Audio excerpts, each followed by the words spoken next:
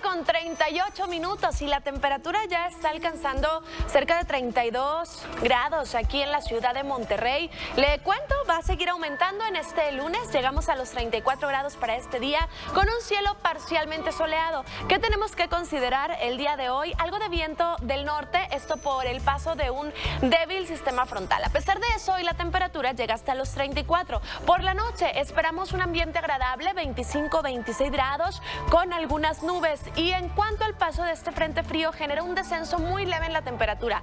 Para mañana durante la mañana el ambiente va a ser fresco, 18 la mínima, máxima de 28 y con un cielo parcialmente soleado. Aumenta la temperatura para miércoles y también para el jueves entre 30 y 31 con ausencia de nubosidad. Esto antes de la llegada de un frente frío para el fin de semana. El viernes con cielo mayormente nublado con viento del norte mínima